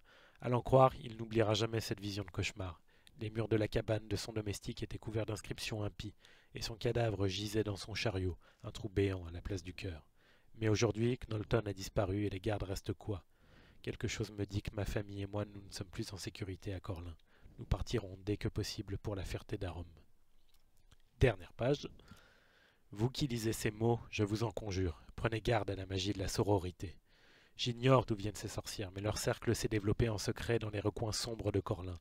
Elles sortent désormais au grand jour pour exécuter leurs adversaires et traquer les autres avec leurs abominables macabres. macabres. Nul ne sait ce qu'elles veulent. Elles parlent sans cesse de venger leur maître et d'honorer leur perfide maîtresse, leur mère. Mes chances de quitter Corlin en vie sont bien minces. Tout ce que je souhaite, c'est que ce message tombe entre des mains capables d'intervenir. Empêchez ces sœurs d'entrer dans votre ville. Leur corruption dévorerait, la dévorerait de l'intérieur, comme elle l'a fait à Corlin. Et c'est ce qui finalement va se passer. C'est ce qui se passe. Donc là, il y a ce que je vous disais au début, hein, le- le- les- la détresse de Dame Malvoie. Et vous voyez que voilà, elle recrute des gamines qui la nuit vont dans le manoir pour apprendre la sorcellerie, pendant que les hommes sont subjugués magiquement pour euh, ne pas y prêter attention. Et là, les rituels impies, maintenant que tout le monde est formé, vont prendre de plus en plus de place et d'importance, avec des meurtres commis plus régulièrement et euh, des attributs de sorcellerie qui sont exhibés euh, régulièrement. Euh, Société matriarcale. matriarcale. Alors les macabres, ça doit être les assemblages de assemblages dossiers macabres, Mm. je pense. Et la sororité, c'est un ordre de sœurs, euh, grosso modo. Donc Oui, c'est ça, voilà. sororité, ça... la racine est dans le mot, quoi. Et comme fraternité. Mm. Euh, voilà, c'était euh, voilà, juste pour la précision euh, lexicale. Alors, qu'est-ce que je vous disais? Donc, donc ça, je vous en ai parlé. Donc voilà, la magie du sabbat malcarne en fait va, va servir à plusieurs choses. Dans un premier temps, à réanimer les assemblages de pierres qui dataient de Mm. la guerre de la guerre de l'époque. Et elle va euh, remuer les, esprits des Drost, les ramener à la vie pour combattre une fois encore en tant que squelette, ou alors certains des esprits Drost vont être euh, mis au sein de constructions d'osier. Et euh, ces, ça, et ces constructions d'osier, en fait, on, en- on en parlera après, mais c'est un des aspects les plus visibles et les plus importants de, de ce que fait le sabbat Malcard, parce que c'est le plus impressionnant aussi. Mhm. Euh, par la suite, euh, bah, Corlin, comme on l'a vu, va complètement tomber sur leur contrôle et tous ceux qui n'auront pas pu s'échapper, en fait, vont euh, servir ou pour des rituels ou euh, vont être liés à un sort pour servir à Dieu sait quoi par la suite. Mm. Une fois que Corlin sera dans leurs mains, bah, le, le sabbat Malcard va commencer à envoyer de plus en plus de ses suivants dans les, les terres avoisinantes, hein, très logiquement, et donc c'est un peu la situation dans laquelle on va tomber nous avec euh, des sorcières qui sont ici et là, qui vont attaquer tel endroit, tel poste. Alors elles sont seules ou à plusieurs.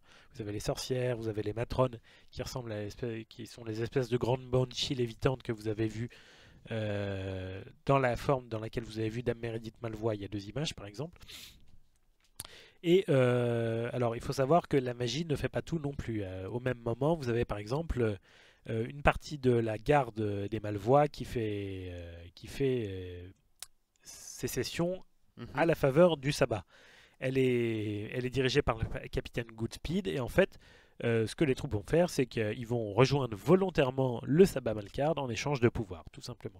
Donc, et qui vont rejoindre la belle lignée de bâtards et de traites que compte l'histoire de Warcraft.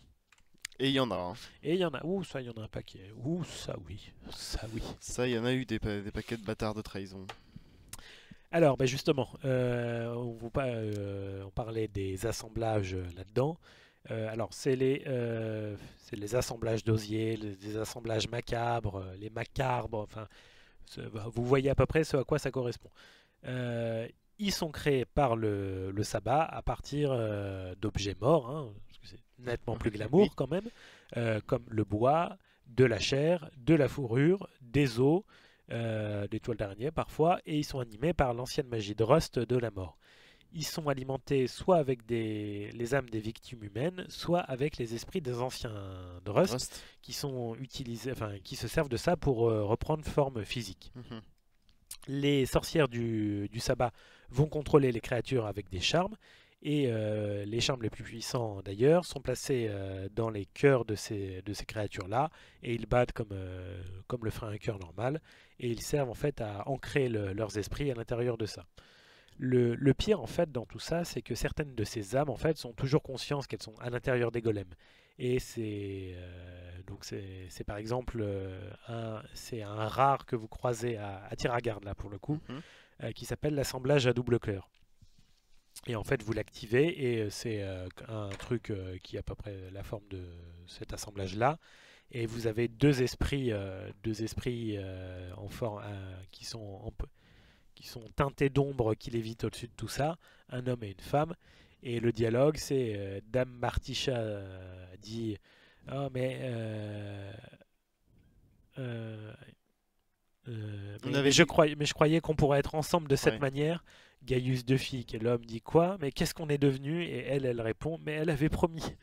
Et donc vous comprenez que voilà, visiblement c'était deux amoureux euh, de famille qui peut-être ne s'aimaient pas ou qui ont eu recours à des sorcières pour euh, un, un charme ou un sort d'amour et qu'ils ont été dupés et que leurs deux âmes ont été utilisées pour construire un assemblage. Et évidemment, bon, on va tuer cet assemblage et le, ce joli petit couple sera séparé. Mais c'est dire euh, l'horreur du C'est truc. quoi. C'est horrible. Et vraiment, Drosvar a cette ambiance-là. Enfin, elle est, elle est vraiment très mature, très adulte. Il y a vraiment, il y a vraiment, c'est un- c'est une des deux fois où j'ai trouvé des choses dérangeantes d'en haut. Alors, je ne critique pas. hein. C'est appréciable de voir des choses qui changent un peu. Oui. Euh, mais c'est vraiment les, les- les deux seules fois où j'ai trouvé des, des choses dérangeantes d'en haut, malaisantes, on va dire. Oui, c'est un peu plus Euh, malaisant. Oui. La première, c'était à Karazhan dans la crypte avec les cadavres noyés. Ouais, ça c'était vraiment dérangeant. Et là, oui, à Drosvar, parce que vous avez quand même des trucs, enfin, c'est c'est hallucinant. Vous avez des gens changés au cochon, des espèces de cadavres recousus avec des têtes de piaf ou de cochon Ouais. à la place de la vraie tête. Vous avez la gamine flippante dans la forêt, là, qui fait son goûter en mode euh, Annie, l'enfant des ténèbres. Euh, vous avez ouais, la corruption, la sorcellerie qui fige le temps, le contrôle mo- euh, mental, les assemblages. Vous avez vraiment des, des machins assez remuants. Sans parler des éléments de décor, les charmes douteux, les, les, les runes tracées dans le sang, les chaudrons, bah, vous en voyez un, là, une bassine remplie de sang avec des bougies dedans. Enfin bon, Ouais, c'est. pas vraiment la déco Ikea. Quoique. Quoique. très flat. Mais vous voyez donc les- horreurs que peut, Ouais. peut accomplir le sabbat Malcard. Euh, et, euh, et donc ouais, ces assemblages en- font, font partie, euh, sont la partie la plus visible de l'attirail du sabbat. Et c'est d'ailleurs compliqué de dire euh, bah, en fait quelle partie de cette créature euh, est faite de bois et où commencent les os et où s'arrête la chair. Enfin, c'est c'est quand même assez dérangeant parce qu'il faut vous imaginer ces espèces d'assemblages avec ces formes cauchemardesques Mm. qui est digne des formes euh, que vous pouviez euh, fantasmer le plus quand vous étiez enfant, quand vous aviez peur du noir ou des monstres, et ces espèces de carcasses inanimées qui sont faites de bois séché, de, de, de ramures, qui sont faites d'ossements, qui sont faites de toiles d'araignée, qui sont faites de, de chair parfois, et qui luisent de cette lueur bleutée qui est la couleur de la mort d'en haut, hein, ce, ce genre d'aura. C'est- Ouais. Enfin, c'est vraiment malaisant, quoi. Et euh, ça participe sûrement au pouvoir euh, d'intimidation du sabbat qui euh, trouve face à lui des gens qui ne veulent pas s'en laisser compter et qui les affronteront par la suite. Excusez-moi, parce que je parle, je parle. Mais tu te déshydrates. Exactement.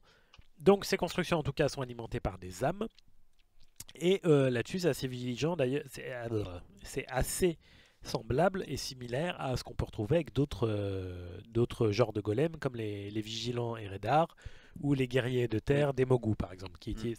c'est finalement c'est un sort de magie assez classique d'en haut, c'est alimenté par des âmes. Euh, alors, des sorts qui utilisent des âmes et là entre autres c'est pour animer des golems. C'est Et- vrai que c'est assez classique. Ouais. Les Warlocks l'utilisent beaucoup. Salope de Warlock. Sorcier du coup. et Oui, pas démoniste. Euh, et euh, il y, a un é- il y a un élément qui est extrêmement important dans tous ces dans tous les éléments de sorcellerie auxquels a recours le sabbat Malcard et notamment Mhm. la construction de ces assemblages d'osier,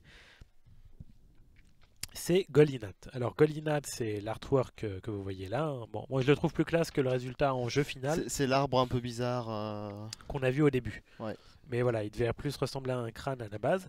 Et donc c'est cet arbre fantomatique qui est situé au milieu de la forêt cramoisie, euh, au de- au sud-ouest de Dresvar. Et en fait, c'est euh, en fait, c'est l'endroit où les sorcières construisent les assemblages d'osier. Euh, là où elles bâtissent leur armée, là où elles, euh, elles vont chercher les pouvoirs de euh, l'ancienne magie de Rust. C'est la porte en fait entre. Et c'est la porte entre Ulter, les confins corrompus, qui est là. Elle est à, l'intérieur de l'arbre. Et les anciens Drust euh, vénèrent cette arme d'ailleurs à l'époque. hein, à l'époque de Goratul, évidemment, pas, Ouais. pas les druides. Mais c'est peut-être d'ailleurs un reliquat de- druidique qui a été corrompu à l'époque et qui était une porte vers le rêve d'émeraude. Oui, qui- du coup, c'est ça. Et ce qui ferait sens, puisque comme euh, vous le savez, un des, euh, cinq, un des arbres monde. euh, c'est possible, ou, ou un, ou un équivalent en tout cas. un équivalent, ouais. Mais comme vous le savez, les Ultères, on en, alors on en avait parlé dans la vidéo sur la mort dans Warcraft, et on pensait que en fait, les Ultères étaient un pan de la mort, et les développeurs ont dit que enfin, les Ultères finalement étaient une portion du rêve d'émeraude, où les choses étaient dans la situation que vous imaginez, mais c'est une portion du rêve d'émeraude. Donc finalement, ça fait sens de rentrer dans le rêve d'émeraude par un arbre non plus. Oui, c'est ça. Et on peut penser que Goraktul l'a corrompu à cette époque-là. Mais alors, de qui aurait-il appris cette magie? On en parlera après.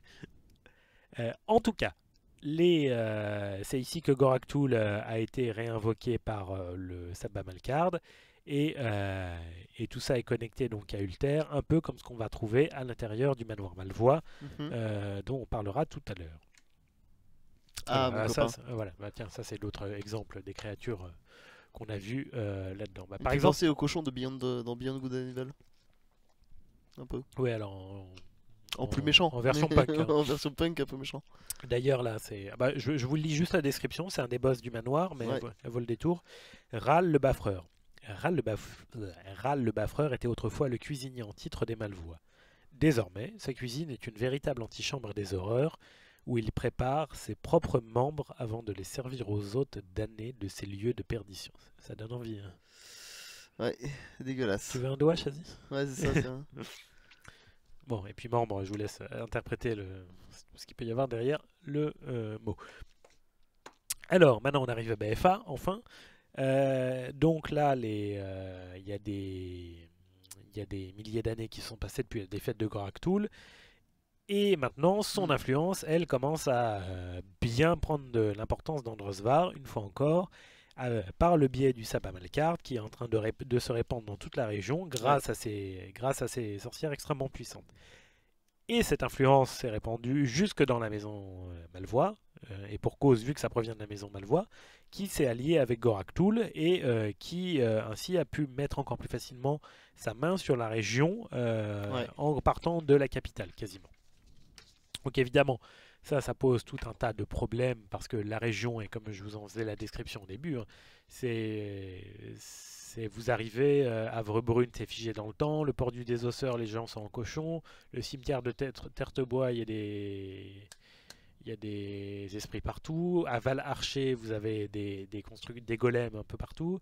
Golkoval, vous avez des revenants de rust de pierre. À la Ferté d'Arom, vous avez des sorcières euh, qui ont infiltré le truc. À la forêt cramoisie, c'est là qu'ils construisent tout. Euh, entre les deux, vous avez des sporélins bizarres aussi dans les forêts. Euh, à Corlin, la ville a été prise par les sorciers. Enfin, vous voyez, c'est euh, c'est Ouais. vraiment une situation assez compliquée.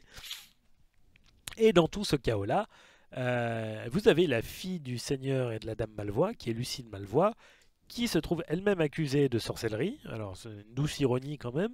Et euh, alors, ça, ça arrive à Fletcher Zolo. Alors, je me rappelle plus comment c'est en français.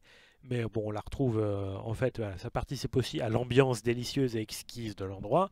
C'est que vous avez des C'est potences. pas Havrebrune Euh, non, c'est pas Havrebrune. C'est Euh, pas loin. Enfin, c'est. En fait, en fait, c'est euh, de mémoire, c'est par là. C'est entre. euh, c'est- Il par y a pas le fly là en haut à droite là? À, à droite, en bas? Là, mais là. non. Valarcher, c'est Au-dessus de Valarcher C'est c'est par là, il me semble. Ouais. C'est en plus c'est c'est littoral, donc c'est- je crois que c'est par là, mais ou par là. De mémoire, c'était là, là, Ouais, c'est par là. à la croisée. Bon, en tout cas, la pauvre fille, euh, donc elle se retrouve sur, on arrive, euh, on la retrouve sur une potence, Ouais. prête à, à avoir la cravate autour du cou, et euh, bah, on va quand même, euh, on va quand même l'aider. hein, la- la- Bah faut- on la- prouve son la innocence. Lucille a prouvé son innocence. C'est assez drôle d'ailleurs comme quête. C'est presque, c'est la chasse aux sorcières. c'est digne de Sacré Graal. Euh, Et avec euh, notre aide et celle du marshal Everett Reed, euh, Lucille va pouvoir prouver son innocence. Et euh, en fait, ce qu'elle va faire, c'est qu'elle va. Alors, Lucille, c'est cette. Alors, d'ailleurs, pour info, ils lui ont fait cette skin avec un visage d'humaine qui tire la gueule. Et moi, j'étais persuadé que c'était- une sorcière au début. Ouais. Je me disais, non, ça doit y avoir un truc. À Ouais, mon si, avis, elle va nous trahir. ouais. Parce qu'ils lui ont fait une, une gueule. tire la gueule, en fait. Oui, c'est ça. Mais c'est fait exprès, je pense. Oui, non, je pense que c'est fait exprès. pour nous laisser le doute. Voilà. Spoiler, c'est pas le cas. Elle ressemble à une nana du showbiz quand une caméra est éteinte. Ouais. Euh, blague à part. Euh, le- donc on va aider à prouver son innocence, on va la libérer. Et donc elle, elle est parfaitement consciente de la menace qui est en train de planer sur Drosvar avec les sorcières, avec tout ce qu'elle a vu. Elle veut libérer la région, elle veut secourir ses parents et elle veut faire le bien. Donc nous, entre-temps, on va aider à droite à gauche, on va être confronté à la sorcellerie. Et euh, parmi toutes les quêtes dont on aura la charge, euh, Lucille va nous, euh, va nous solliciter pour l'aider à reformer l'ordre des braises, qui évidemment n'avait plus trop d'utilité au fur Bah et à oui. mesure des millénaires, vous vous doutez, et qui pour beaucoup n'était plus qu'une légende. Et elle va se rendre dans une maison qui se retrouve dans... Alors on va passer par un passage secret qui se trouve dans une maison Mm. sise elle-même dans une, dans une zone enneigée. Et euh, là-dedans, dans un ancien, dans des ruines souterraines, on va trouver le tome d'argent et de cendre, où euh, en fait c'est le, le gros livre que vous avez devant, hein, qui n'est pas un livre nain contrairement à ce qu'on voit dessus, et dans lequel il y a tous les rituels pour, euh, pour l'ordre des braises, toute la magie qui aide à combattre la magie des Drust, ce qui va être très utile compte tenu de tout ce que je viens de vous dire. Ça, c'est marrant, il y a un bouclier de l'alli- un bouclier de l'Alliance sur les murs. Euh, oui, oh, c'est peut-être un souvenir. Mais j'avais pas fait gaffe, écoute. Ouais. Euh, et donc, euh, elle va former de nouveaux inquisiteurs de l'ordre des Braises grâce à ce qu'il reste de la garde des Malvois. Et euh, en plus, elle va, et en plus de nous, hein, le champion de l'Alliance, elle va refonder l'ordre des Braises à la Ferté d'Arôme. Oui. Et donc, les inquisiteurs vont immédiatement partir en campagne pour repousser le sabbat, de la Mal- le sabbat Malcarde. Et, euh, jusque, et, on va attaquer comme ça euh, le sabbat et euh, le repousser un peu partout dans la région. euh, au fur et à mesure de la campagne de l'ordre, alors on va repousser le sabbat ainsi que d'autres menaces, et tout ça va amener à la contre-attaque finale de l'ordre sur Corlin, puis dans la, dans la partie haute de la ville et autour du manoir. Après qu'on ait abattu la barrière euh, à Corlin et qu'on puisse pénétrer dans la ville, euh, bah, Lucille, euh, l'ordre des Braises et nous, on va foncer dans, dans le manoir, qui est le centre bah, du, du pouvoir du sabbat. Et là, bah, la rencontre euh, manque pas de saveur, puisque en Mm. fait, euh, on est accueilli par. bah, C'était le. Attendez, je vais vous remettre un peu. Ah voilà. On est accueilli par les deux sympathiques personnages que vous avez à droite, qui sont ce qui reste de ses parents. Et là, Lucille réalise horrifiée que euh, sa mère, en fait, sa mère, c'est la mère euh, Mm. du, du sabbat, que son père est devenu cette chose, et voilà, elle est, elle est quand même assez choquée de ce qu'elle voit. Sa mère a l'air d'avoir perdu la raison en mode euh, Oh, mais c'est très impoli, oh, mais tu devrais pas faire ça, machin. Elle, a la- la- je me rappelle plus la voix qu'elle a en français, mais la voix en anglais de Meredith Malvois est, quand, est, est- est géniale, je trouve. Elle a vraiment une, la voix de mégère qui va bien avec, ce, Oui. avec ça. Et donc, enfin, Lucille de Meller interdite, à voir ce qui est devenu de ses parents, euh, qui, alors qu'elle était là pour les sauver, bah, elle comprend que c'est sa mère qui est responsable de tout. Et que c'est plus impossible de les sauver, quoi. C'est ça, euh, accessoirement que son père est mort, et très vite elle va faire front, elle va ravaler ses sentiments, Euh, c'est ce qu'elle dit d'ailleurs euh, dans quand elle rentre dans le manoir un peu après. Elle dit Mm. Vous n'êtes plus ma mère ou, Ouais. ou ne, ne m'appelez plus votre fille. Enfin, voilà, pour elle, enfin, sa mère est morte depuis longtemps. hein. Et d'ailleurs, euh, d'ailleurs, je crois que quand on rend la quête du mariage, en fait, on fait copain-copain avec le fantôme de son fiancé et elle ne sait pas que c'est sa mère qui a. Oui. Et c'est assez touchant parce que le fantôme de, ce compa- de son fiancé veille sur elle. Mm. Et sans sa présence, mais elle ne le voit pas. Mais bon, je, je ferme la parenthèse sentimentale. Là n'est pas la question. En tout cas, euh, donc euh, on arrive, donc on confronte Mère et le et le et ce qui reste d'Arthur Malvois. Euh, là, bon, le ton monte. Euh, Le maréchal Everett aussi euh, traite de monstruosité Meredith Malvois et Meredith en fait va le subjuguer avec de la magie et en faire un pantin qu'on devra affronter et tuer. Oui. Ce qui va fortement attrister Lucille puisqu'elle va le elle va le pleurer à l'entrée du manoir alors que sa mère et ce qui reste de son père euh, est parti se réfugier à l'intérieur avec leurs disciples les plus proches. Et donc là, on arrive Dans le manoir. dans le manoir, qui est une très belle instance d'ailleurs. Très belle instance qui change en plus. euh, suivant les entrées sont pas les mêmes suivant le moment où vous la faites. C'est assez aléatoire en fait le... les portes et compagnie, les boss que vous allez affronter dans quel ordre. Surtout? Alors, je l'ai fait qu'une fois. Ah bon, bah tu devrais la, la faire parce que c'est ce qui rendait le truc un peu intéressant, c'est que suivant le, je sais plus si ça change toutes les semaines ou pas, mais en gros ça, ça change euh, le- l'ordre dans lequel tu affrontes les boss. D'abord, tu fais Lidan, après Kid Jaden, ensuite Kaltas. Voilà, c'est un peu l'idée. Euh, donc là, euh, dans le manoir, nous attendent plusieurs. Alors évidemment, c'est une ambiance gothique victorienne. La musique est géniale, Musique euh, géniale. Enfin, génial, génial. c'est vraiment, vous êtes dans la maison hantée de Disney, mais version adulte. Ouais, c'est vraiment très très très cool. Euh, Là-dedans, vous avez plusieurs boss. Vous avez la triarde Malcard qui nous accueille à l'arrivée. hein. Alors, figurant parmi les premières à s'être soumises au sabbat Malcard, ses sœurs ont chacune appris à maîtriser une forme particulière de magie. Désormais, elles cherchent à renforcer leur pouvoir à l'aide de leur iris de focalisation. Donc là, euh, premier type d'ennemi, des sorcières. Ensuite, un, goli- enfin, un golem Un golem- des âmes. golem des âmes, ouais. Le Goliath des âmes est un amalgame des âmes torturées de ses victimes cultiraciennes. La créature résonne au diapason de leurs hurlements tourmentés, sinistre requiem à l'attention des imprudents qui oseraient se dresser sur son chemin. Deuxième type de truc. Troisième type, c'est le cochon géant dont j'ai parlé tout à l'heure, là les abominations. Mm. Et enfin, le, enfin bah, pas enfin, mais presque enfin, Seigne- euh, le seigneur et la dame Malvoie. Ouais. Terrassée à l'idée de perdre son époux souffrant, Dame Malvoie n'a pas hésité à se tourner vers toutes les puissances aptes à le sauver. Goraktul a répondu à son appel et lui a promis que jamais la mort ne viendrait les séparer. Mais il y a un prix à payer. Alors évidemment le prix c'est ce que je vous ai dit. On les affronte dans cette salle et cette salle va légèrement changer une fois qu'on les aura tués. Mm. Euh, donc euh, bon ils ont une fin. euh, Alors évidemment on n'est pas tout seul dans le manoir. hein. Il y a l'ordre des Bresses, il y a Lucille. Oui. Et Lucille, elle, veut affronter euh, toutes ces horreurs et veut être sûre que sa mère paye euh, les conséquences de, de De ses actes, crimes. ouais. Et, et voilà, donc jusqu'au bout, on, on va les affronter et la, la famille est là. Euh, si, si, la famille. Mhm. Euh, alors, euh, donc on les défait, mais malheureusement, en fait, Dame Malvoie n'était qu'un réceptacle pour la puissance de Goraktul Ouais. qui lui avait donné. Et sa mort va ouvrir la faille, la rupture, qui est, qui est la porte d'entrée des Drost pour arriver sur Azeroth. C'est ça, Donc c'est ce que vous avez là. la rift. voilà, c'est la faille que vous avez là et qui descend plus bas vers le, le cœur de la, la, la porte elle-même qu'on voit après. Je, voilà. Et après, euh, après et à la rupture, on retrouve là on retrouve le véritable dernier boss euh, qui est. Goraktul, qui est capable de ramener ses- les siens d'entre les morts, et mais qu'on arrive à vaincre entre temps.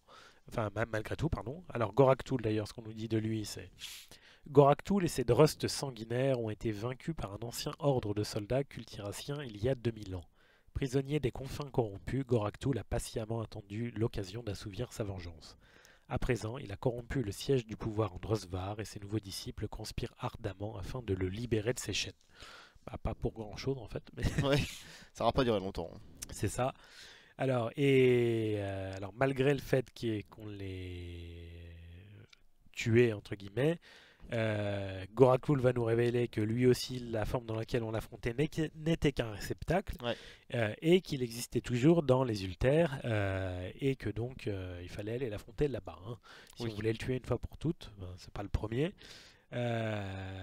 Malgré tout, en tout cas, il y a des occasions de se réjouir parce que le sabbat Malkard a été détruit et démantelé Ouais. et Drosvar a été libéré de l'emprise de Goraktul. Donc ça, c'est une vraie victoire pour le coup et Goraktul va pouvoir réintégrer Kultiras au grand bénéfice de l'Alliance. Oui. Alors, Kultiras n'est Enfin, pas pour autant complètement sauvé. Drosvar va pouvoir intégrer euh, Kultiras. Euh, oui, Drosvar va pouvoir intégrer. Goraktul qui va intégrer Kultiras. Oui, euh, pardon.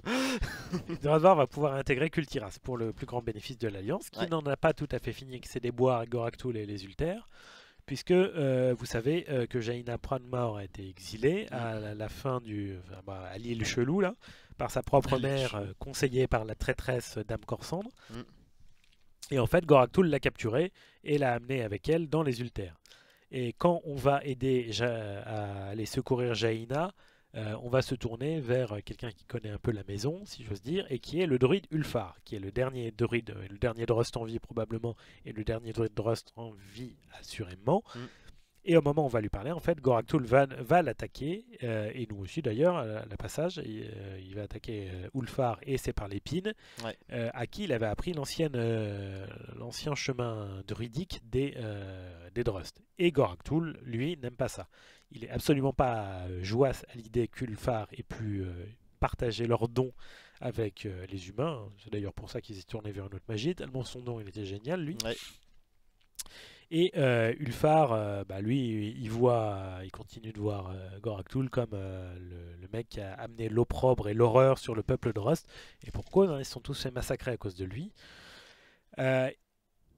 Le druide, enfin le parlépine, qui au début ne voulait pas nous aider, finalement va sentir que la porte des qui la porte des Ultères doit rester close. Et euh, l'attaque de Goraktul lui a fait réaliser que bah, la porte était ouverte. Et euh, finalement, euh, les, tout ce qui résidait dedans n'était plus, n'était plus tenu à l'écart et risquait d'envahir le monde. Et donc là, il va décider de nous aider. Et donc on va faire, on va cheminer dans Tros, qui est cette version euh, cauchemardesque, euh, ce pan cauchemardesque, altéré et Ouais. décrépit du rêve d'émeraude où on retrouve euh, la magie de la mort, des esprits torturés, agressifs et dangereux. Et c'est là que Jaina a subi mille tourments de la part des, souvenirs de son passé. Alors c'est la cinématique où on la voit, Petite. euh, euh, on la voit petite, on la voit perdre Arthas, on la Mm. voit perdre son père, on la voit face à sa mère qui la juge, etc. Mm. Et finalement, on, a- on arrive à la sauver de ses cauchemars. Nous, l'aventurier de l'Alliance, nous, le puissant chaman Samovar. Pourtant, nous, on n'est pas des boss de raid. hein. Et on n'a pas des boss de raid. et finalement, Goraktul ne veut pas nous laisser partir. Et Jaina se décide à l'affronter. Et, on va... et donc, on va affronter Goraktul. Et euh, on arrive à le vaincre. Alors, et quand on, le... quand on arrive à le vaincre, il dit euh, Votre victoire ne veut rien dire. Les Drust ne plieront, ne céderont jamais. Alors, est-ce qu'on le tue Là, on le bat ici? Mais alors, euh, logiquement, on peut penser que si on le tue là, il est... et c'est là on rentre dans les fini. spéculations, il est définitivement fini. Euh, alors, est-ce qu'il a vraiment été tué? Ça, c'est la question. Bah. Est-ce qu'il a l'air d'avoir quand même euh, une importance particulière? Mais les deux options ne sont pas exclues. Il peut très bien avoir été tué, comme il peut très bien euh, être toujours, alors vivant, c'est un grand mot, Revenir mais- en boss de raid, quoi, c'est ça que tu veux Ouais. dire. Ouais. ou en boss de raid, ou comme bah, Elia. On peut pas tuer la mort après tout. Oui, mais Et- lui, il fait pas partie de la mort. Mais il a baigné dans les énergies de la mort pendant tellement longtemps que Oui. finalement, on ne sait pas. Elia, elle représente la mort elle-même. Elia représente la mort, mais c'est pas impossible qu'il y ait eu des passerelles ou des choses comme ça. Donc c'est compliqué de. fi- Finalement, le truc, enfin, il meurt tellement comme un PNJ à la con que. Oui, il ne sera pas le premier. hein. Oui, ça serait pas le premier. Mais du coup, voilà, bien malin, comme il dit Dan à l'époque. Oui. On se pose la question. Bon, là, en l'occurrence, ça a été Redcon. Mais Je sais pas, je sais pas, je saurais pas te dire s'il est mort ou pas du coup. Maligos aussi, il meurt comme une vieille merde, par exemple. hein. Il- Bah, en boss de raid quand même, hein. Ouais, euh, quand même. Mais Là, pas dans de une raid, quête quand à la même. con. Voilà. Donc voilà, ça c'est la première question. Quel, quel est l'avenir de. euh, Enfin, quid de Goraktul Euh, Alors, après, euh, trop, c'est la, enfin, les ultères et la manière dont c'est lié au rêve et à la réalité. C'est ce qu'on a évoqué tout à l'heure. Euh, voilà, moi, je- ça me paraît le, ça, ça- je- ça me paraît pas impossible que le euh, l'arbre au milieu de la forêt cramoisie, était un ancien arbre odoridique corrompu à l'époque de Ra- Goraktul par les magies de la mort, et que finalement ces magies de la mort se sont infiltrées par là pour euh, scléroser le rêve d'émeraude à ce moment, et ce qui aurait fait que cette partie du rêve d'émeraude là soit devenue les ultères. À mon avis, le rêve d'émeraude, c'est le bordel. hein. C'est le bordel. Mais c'est alors, est-ce que Entre la partie corrompue par euh, Ilginot, euh, machin et compagnie, euh, et la partie euh, Ulter, à mon avis, c'est le bord- c'est un beau bordel là-bas. hein. bah alors du coup, double au- autre question que ça. Surtout que si c'est censé être une copie de notre monde. Ac- accessoirement. Le, là, ça pose, ça, soulève une autre question plutôt que ça n'en répond à une autre. Mais est-ce que du coup, il y a deux cauchemars d'émeraude, ou est-ce que finalement, le, les forces des dieux très anciens sont derrière les Drust, la mort et tout ça aussi, ou alors c'est deux forces maléfiques pour nous, mais quand même deux forces qui sont en même temps euh, sur le rêve d'émeraude. Et ça, on ne sait pas, puisque le, les Ultères, on n'y a, fait qu'un passage, et on ne sait pas vraiment ce qui s'y passe. Mais il n'y a pas vraiment de seigneur de la mort en fait. euh, Bah, c'est tout le débat qu'on avait sur la vidéo sur la mort. hein. Ouais. Est-ce qu'il y a quelque chose? Et d'ailleurs, la magie des Drust, euh, la magie de la mort des Drust, alors on voit qu'elle est liée à la mort parce qu'il y a la lueur bleutée qui correspond à la magie de la mort, mais euh, on ne sait pas qui- enfin, qui en a fait don. Quoi. Comment Goraktul, euh, la- enfin, Goraktul s'est pas levé un matin en découvrant la magie de la mort. Il a bien dû le, Il l'a pris de quelqu'un quoi. Ouais, où il a fait des expériences, mais ça, il, me par- il me paraît parce que les Drust, au fur et à mesure du temps, ont appris à perfectionner leur magie de la mort, ont Mm. appris à faire des assemblages euh, macabres de plus en plus puissants et à ne plus lier seulement de, enfin, à donner de la vie et de la pierre, après à faire des assemblages avec tout un tas de choses. Donc voilà, il y a quand même des, euh, il y a quand même tout un tas de, questions qui sont posées, mais oui, les Drust, euh, parce qu'il reste des Drust et, de, du, et, la magie du sabbat Malcard est clairement une magie de la mort en tout cas. Et ça pose enfin la dernière question avant qu'on ne conclue. Voilà, euh, est-ce qu'on aura une extension centrée autour de la mort? Moi, ça fait partie des pistes possibles pour moi. Je pense aussi que c'est possible. De toute façon, il y a un moment où il va falloir euh, éclairer tout ça. Éclairer, entre guillemets, euh, toute cette histoire de Terre des Ombres, euh, Ulter, euh, tous ces trucs-là. En fait, il va falloir au bout d'un moment en mettre. euh, C'est mort, on n'en parlera pas. il va falloir, il va falloir que ce soit clair, tu vois. Parce qu'on a, dans- tu le lis dans la vidéo sur la mort, c'était un peu.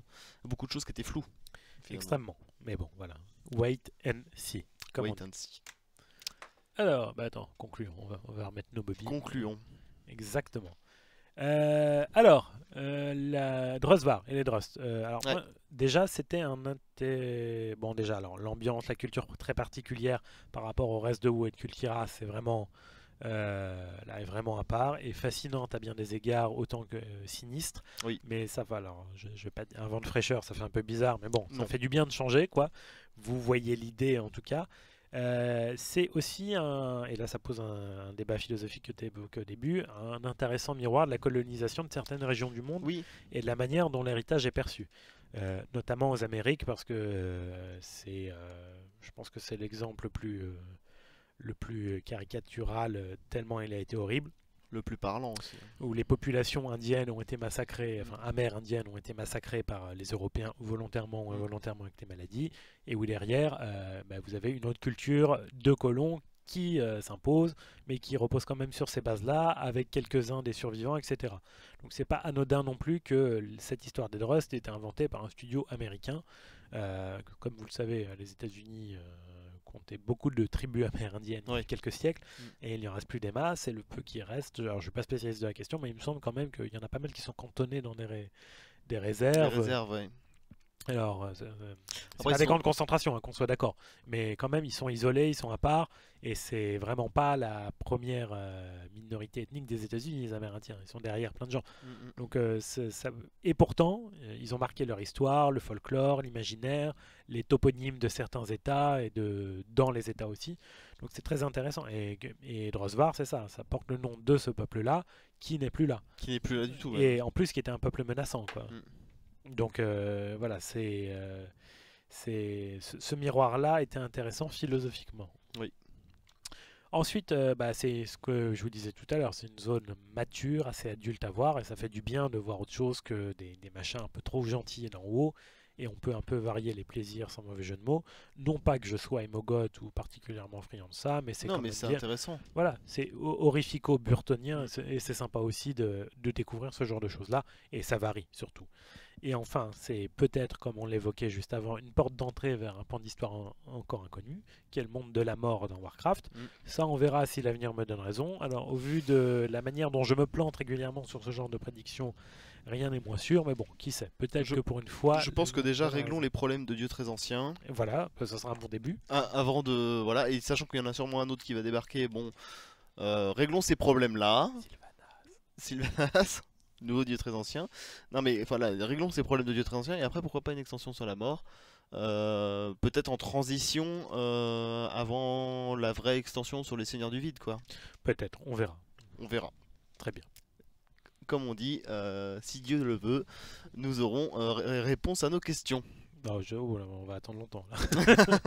le mystère est divin. J'espère que cette vidéo vous aura plu. En tout cas, n'hésitez pas à vous donner, nous donner aussi votre avis euh, sur euh, la mort et euh, tous les sujets dont on a pu parler dans cette vidéo. Les Drust, les sorcières, les Drust, les Sylvanas. sorcières, Sylvanas, euh, Sylvadwin, Syl... non Sylvidwin, Sylvidwen d'ailleurs, Sylvidwen. Et on se dit à une prochaine vidéo.